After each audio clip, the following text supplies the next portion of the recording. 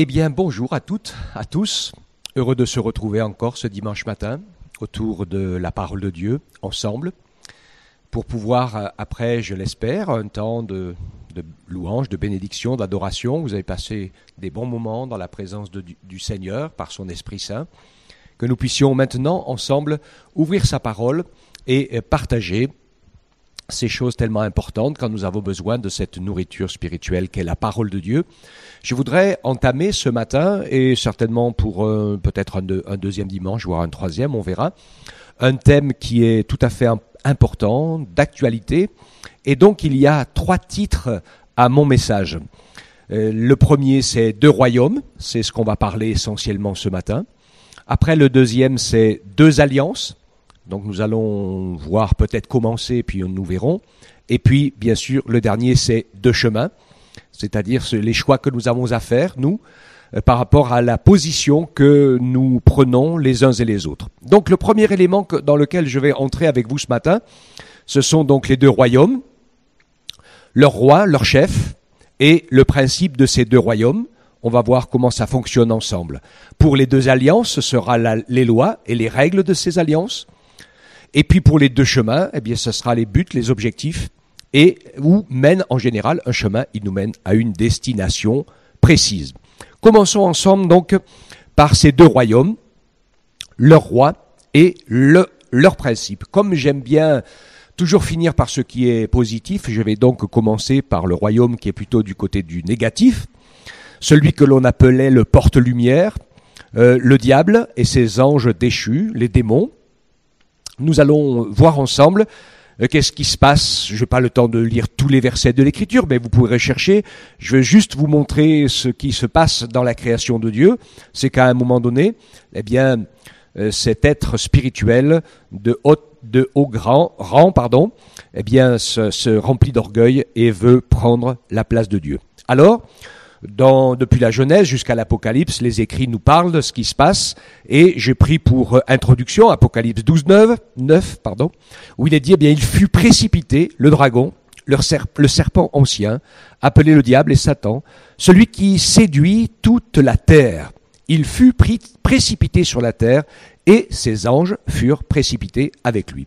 Alors on sait que sur des moments particuliers de la fin, ça va être une submersion assez impressionnante, mais le phénomène est déjà une réalité depuis la chute, puisque sa place au ciel, aux côtés de Dieu, il l'a perdue pour se retrouver dans une autre sphère d'influence, puisque l'adversaire de Dieu a choisi d'envahir le camp des hommes pour pouvoir euh, essayer de détruire, d'anéantir le plan de Dieu, la création de Dieu et ce qu'il avait commencé à faire au niveau de toute la terre. Le résultat, on va le voir, c'est que euh, finalement, au milieu de ces deux royaumes, il y a, un arbitre, nous, qui sommes créés à l'image de Dieu.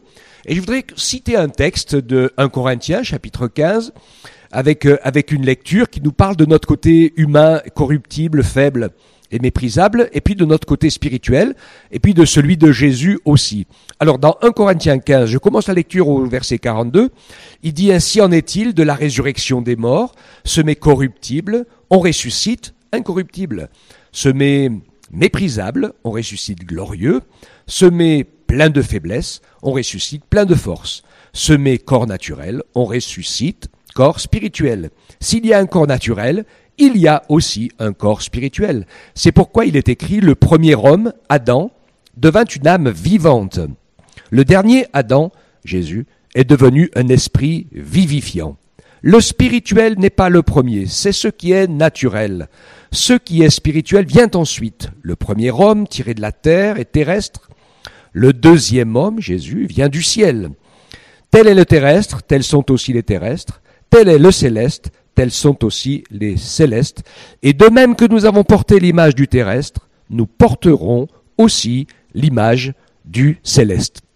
Alors, dans ces deux royaumes dont j'ai commencé à parler du premier, le deuxième on va très vite et vous l'avez déjà compris, je suppose, parce que l'Écriture en parle très souvent, le royaume de Dieu et le royaume des cieux, là où Dieu réside, donc là où le royaume de Dieu c'est là où Dieu règne. Donc tous les hommes et les femmes qui veulent que Dieu règne et qui le cherchent, qui le suivent et qui le servent, vivent déjà dans le royaume de Dieu. Jésus l'avait dit, le royaume de Dieu est au milieu de vous. Et puis le, royaume des cieux, c'est la demeure de Dieu. Le royaume du malin, nous l'avons vu, c'est la sphère d'influence qui est autour de tous les anges déchus qui sont partis avec lui dans cette révolte, et ils sont allés vers la terre pour pouvoir essayer de détruire ce que Dieu avait créé. Alors, qui gouverne la terre Le royaume. Quel est le royaume qui gouverne la terre? Alors le pouvoir sur cette terre, j'oublie, je veux quand même dire au passage que la terre appartient à Dieu, elle lui appartient toujours, hein. il en est le propriétaire, mais quand on regarde les détails de la création, on voit qu'il nous a été euh, donné, prêté par délégation, et que Dieu nous a donné toute autorité sur cette terre pour la gérer, pour la soumettre et pour l'utiliser. Et Dieu ne revient pas sur sa parole. Et donc l'homme est un libre gestionnaire de la propriété divine. Libre et bien sûr responsable, en n'oubliant pas qu'il ne nous devrons chacun d'entre nous rendre compte un jour au propriétaire. Donc Dieu l'avait dit à l'homme, tu domineras, tu régneras sur toute chose. Dans, vous pouvez lire ça dans le livre de la Genèse. Alors, Bien sûr, nous le savons.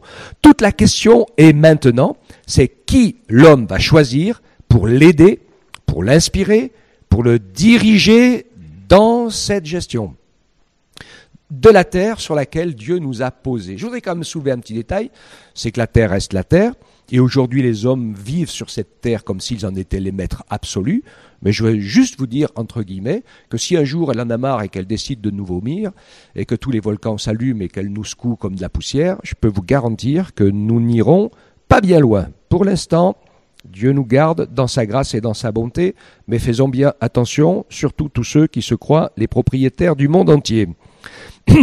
nous découvrons dans la parole que l'homme a choisi d'écouter et de suivre la voie de celui que la Bible appelle le menteur, le meurtrier, le méchant. J'ai fait exprès de donner ces détails parce que c'est comme ça que les détails de l'adversaire sont, sont définis.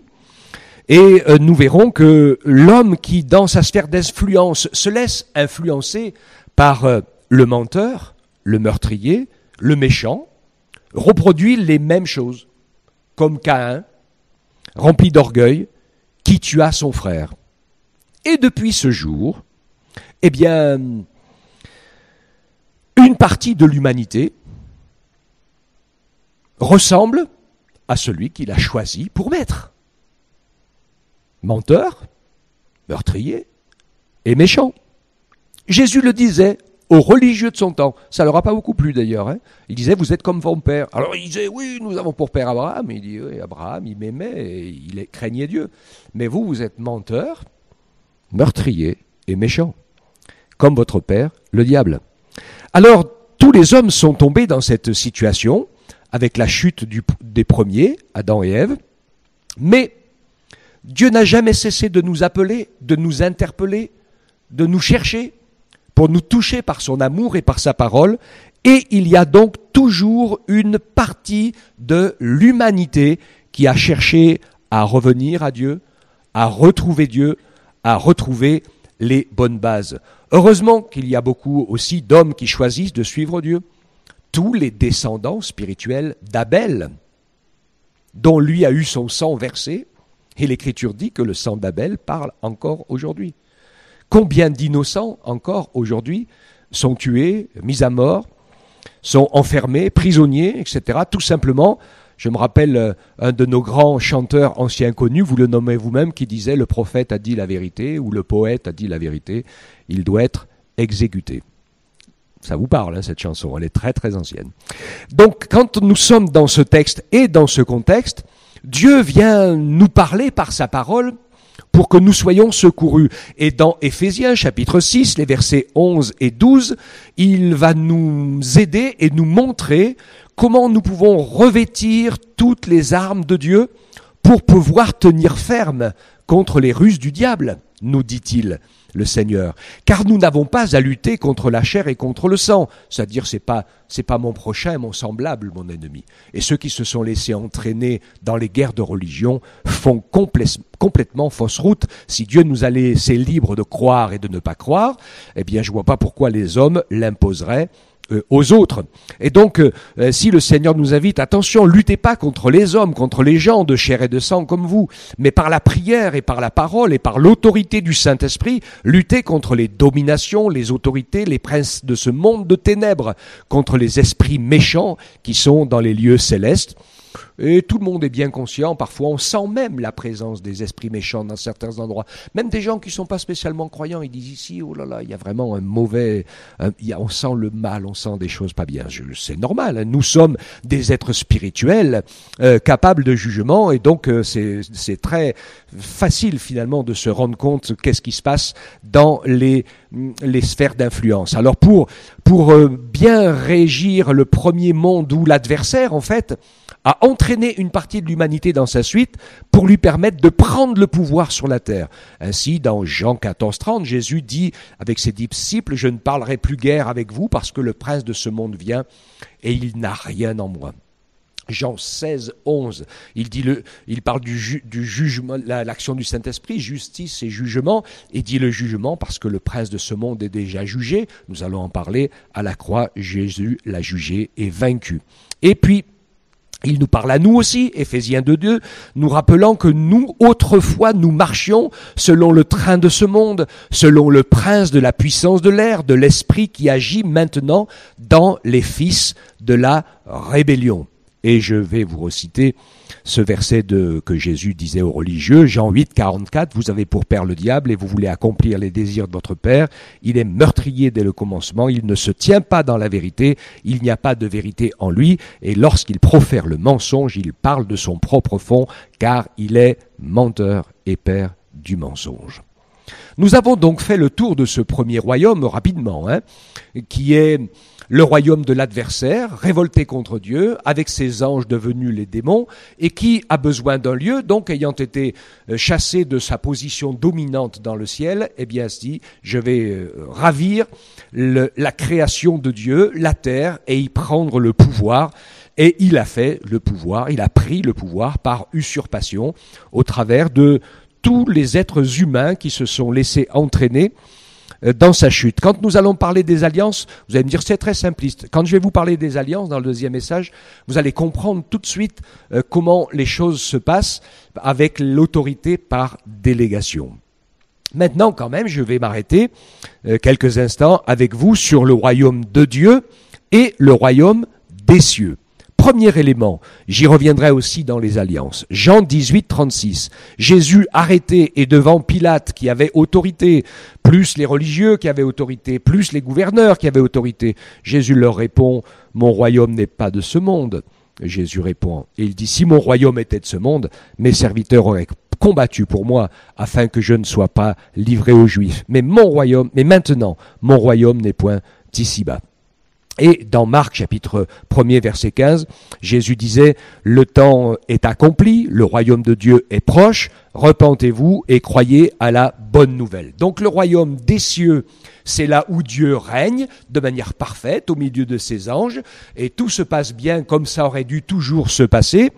Et le royaume de Dieu, donc c'est une extension que l'homme a permis de faire à Dieu en le cherchant, en acceptant d'écouter sa parole, quand Dieu du haut du ciel, et par sa parole et par son esprit, appelle, demande, cherche des hommes et des femmes qui veulent bien faire alliance avec lui et rentrer dans son royaume, eh bien, le Seigneur nous ouvre la porte et ainsi le Seigneur Jésus disait, eh bien, le royaume est au milieu de vous. Personnellement, je sais euh, que tous les chrétiens nés de nouveau qui aiment le Seigneur Jésus, qui le suivent et qui lui obéissent, eh bien, vivent déjà dans le royaume de Dieu parce que c'est ces lois qui régissent notre existence, c'est son esprit qui nous parle et qui nous conduise, et nous savons, et je préfère, et je veux le dire tout de suite, que ce royaume est un royaume d'amour. Donc, on voit la réalité de deux royaumes antagonistes qui cohabitent au travers les hommes. Dieu veut multiplier les hommes rachetés pour que nous puissions vivre l'amour dans son royaume éternel. Le méchant veut multiplier les hommes perdus pour les perdre encore plus avec lui, pour les séparer, pour les diviser, pour que les hommes se retrouvent seuls. On va voir la différence entre une association et une et une alliance, et vous verrez que les hommes avec l'adversaire, ils font toujours des associations, jamais des alliances, même si on emploie ce mot, et que seul Dieu est capable de faire une alliance, et il fait une alliance et pas des associations. Et il y a beaucoup de gens qui se croient chrétiens et qui font des associations avec Dieu, ils devraient savoir, et je vais leur montrer qu'ils doivent faire très très attention parce que ça ne marche pas. Le Seigneur donc va donc nous montrer que nous sommes dans un royaume où Dieu règne, qui est le Dieu d'amour, de justice et de sainteté qu'il veut nous faire vivre en harmonie avec lui, avec sa parole et avec son éternité, et que le monde dans lequel nous sommes a été livré au pouvoir du prince de ce monde, le diable Satan, qui veut que chacun tire la couverture à soi, chacun veut régner pour lui-même, chacun ne veut euh, penser que uniquement à son bonheur, et ils sont bien rares ceux qui pensent au bonheur des autres avant leur propre bonheur. Certains même, la Bible nous le décrit, eh bien, semblent faire des choses pour le bonheur des autres, mais c'est pour souvent en recevoir la gloire, le mérite, ou peut-être espérer le salut de leur âme. Éphésiens chapitre 6, versets 11 et 12, donc encourage tous ceux qui veulent vivre avec Dieu dans son royaume, déjà aujourd'hui, et il nous dit, eh bien, revêtez-vous de toutes les armes de Dieu, afin de pouvoir tenir faire comme les, contre les ruses euh, du diable.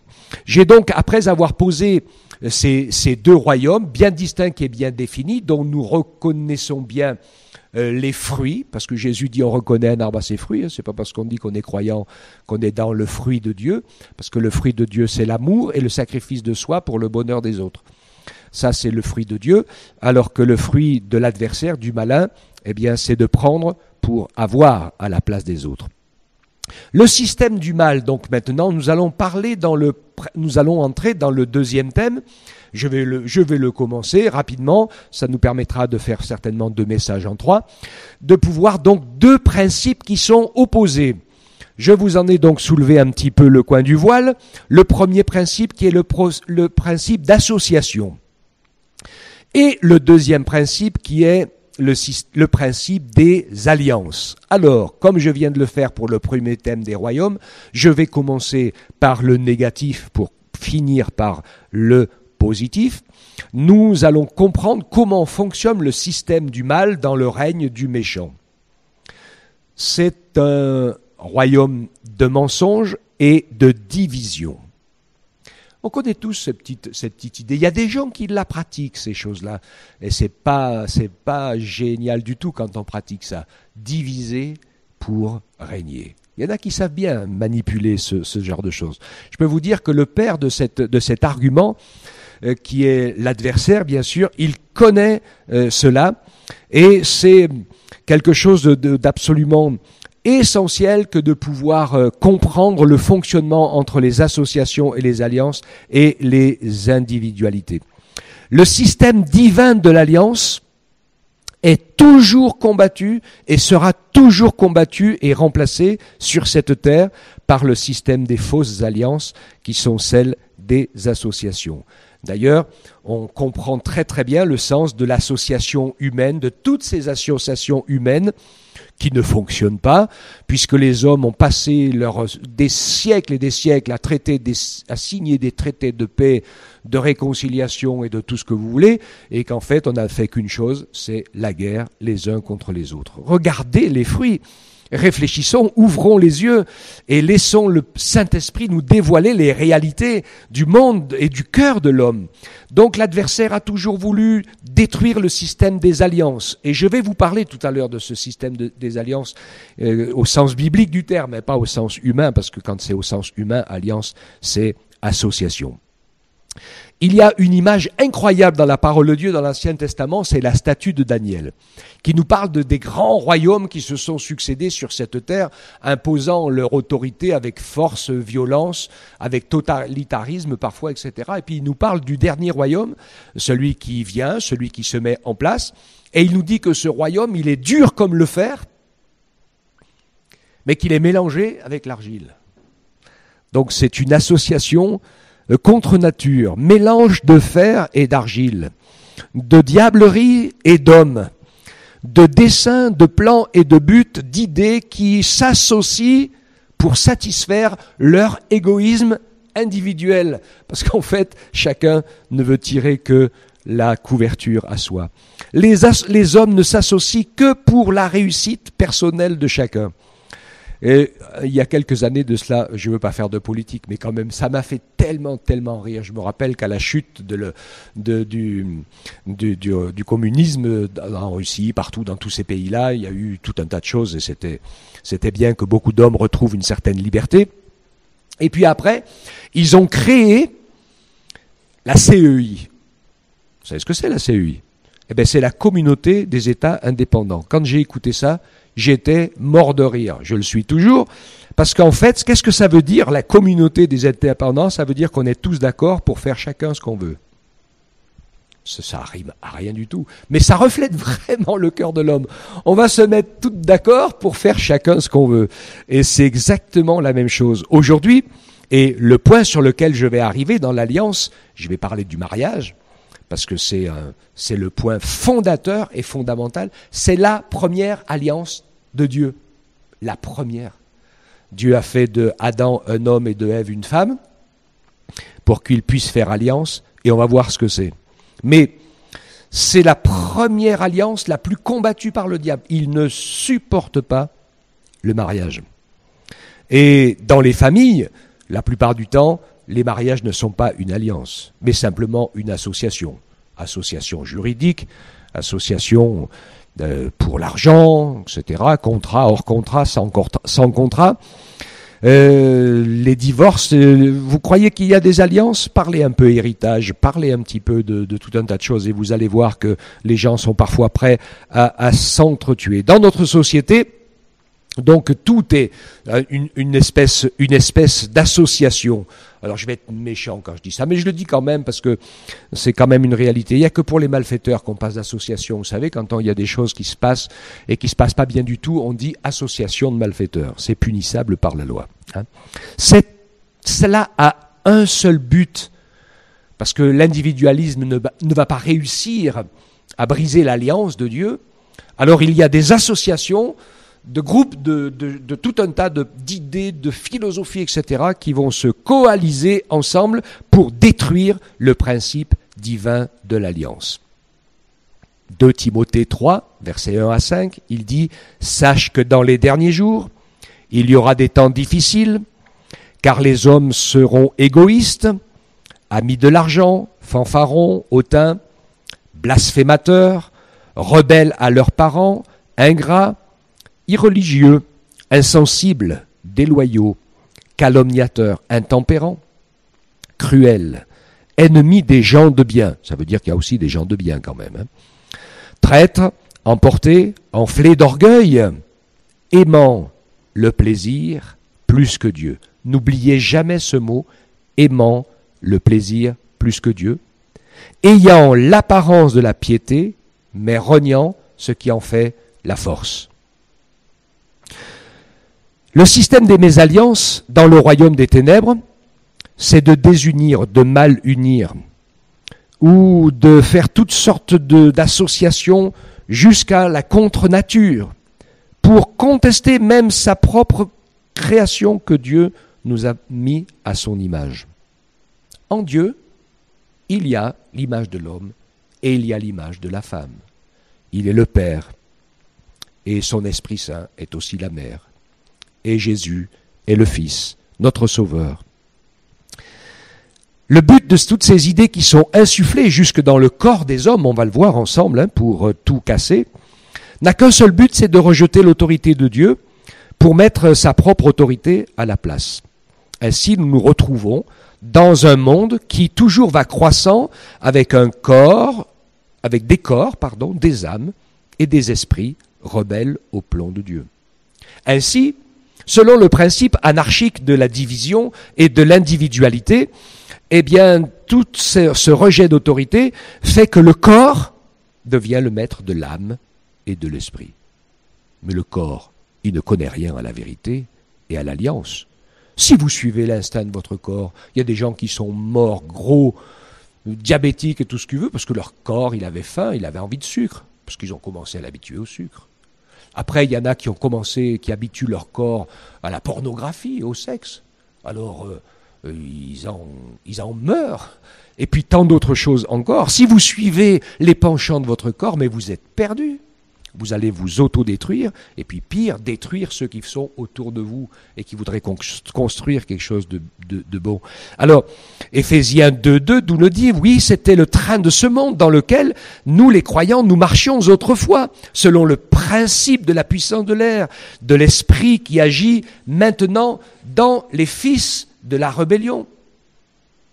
Ne savez-vous pas, dit Paul aux Corinthiens, chapitre 6, versets 9 à 10, que les injustes n'hériteront point le royaume de Dieu. Alors il y a une liste, je vous lirai la prochaine fois, la liste parce qu'elle est importante. Nous allons découvrir tous les bébés de l'injustice. Et ils sont tout à fait nombreux, la débauche, l'idolâtrie, etc., les adultères, et puis tant d'autres choses que vous trouvez, que vous trouvez sur la liste. Alors on se vexe beaucoup sur euh, des gens qui ont un comportement que euh, que on retrouve pas, mais la parole de Dieu met en premier euh, la débauche parce qu'on va découvrir que dans le mariage, le saut du mariage, c'est la sexualité.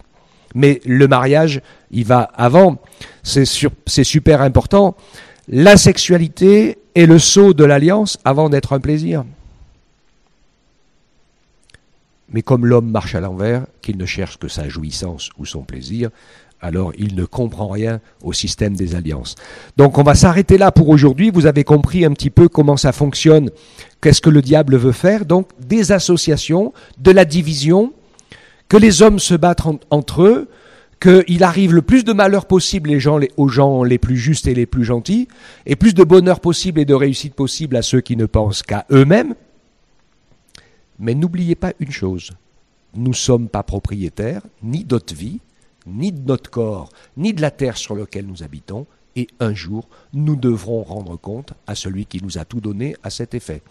Donc attention de ne pas nous tromper de chemin, attention de ne pas nous tromper de royaume. Maintenant, il y a des gens qui librement choisissent le royaume et le chemin. Mais ce, moi, ce que je fais de la part du Seigneur ce matin, eh bien, c'est que je vous avertis, je vais continuer à vous éclairer sur ce système des alliances et la prochaine fois, après avoir fait un petit résumé, nous allons voir comment ça fonctionne à merveille le principe divin de l'alliance. C'est un truc de fou qu'on ne peut que découvrir quand on vient au Seigneur et puis quand on s'y accroche comme il faut parce qu'il y a beaucoup de gens qui se contentent juste d'être des religieux et des croyants de surface. Ils n'ont même pas soulevé du coin du drap de savoir qu'est-ce que c'était l'alliance de Dieu. Alors je vous donne rendez-vous à la semaine prochaine. Que Dieu vous bénisse. Seigneur, merci pour ta parole. Merci parce qu'elle a le mérite d'être claire et c'est la vérité. Parce qu'elle est démontrée tous les jours dans ce que nos yeux voient, dans ce monde entier où les hommes ne te connaissent pas. Et même pour ceux qui te connaissent, le combat est tellement difficile pour réussir à, à briller de ta lumière, sans échapper à la moquerie ou à d'autres choses, d'autres sarcasmes. Fais-nous la grâce, Seigneur, de continuer, comme Jésus l'a fait, à manifester ton amour, à bénir, avec la puissance de ton Esprit Saint, qui est toujours capable encore aujourd'hui de sauver, de délivrer, de changer la vie d'un être humain pour nous faire changer d'alliance, de royaume et de chemin pour l'éternité. Merci de tes bienfaits. Donne-nous, Seigneur, d'être attentifs à ta parole, ne pas nous contenter de l'écouter, mais de la mettre en pratique pour que nous puissions marcher sur le chemin étroit qui mène à la vie. Oui, que ton nom soit béni et célébré, Père, au nom de Jésus. Amen. Que le Seigneur vous bénisse, vous garde tous. À très bientôt.